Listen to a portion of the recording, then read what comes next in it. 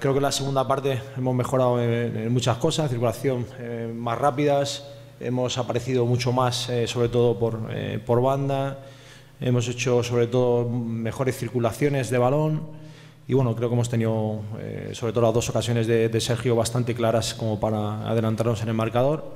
Pero bueno, sabíamos de la dificultad de, este partido y de, los que van a ser de aquí en, adelante. Entonces, contento por la victoria. Nosotros lo que nos interesaba, sobre todo, pues asegurarnos los playoffs.